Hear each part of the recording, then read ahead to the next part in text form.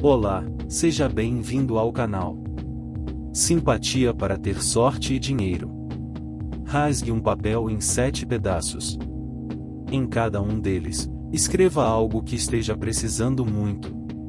Feito isso, colhe cada pedaço de papel em sete moedas de qualquer valor, um pedaço em cada moeda. Depois, abra uma banana e coloque as moedas dentro dela, formando uma fileira. Por cima, coloque um fio de cabelo seu e feche-a com linha verde. Quando der meia-noite, vá a um terreno, vá com uma pessoa de confiança e enterre a banana, deixando por cima um lenço vermelho e uma garrafa de cachaça aberta. Acenda uma vela verde e um charuto, com cuidado para não se machucar.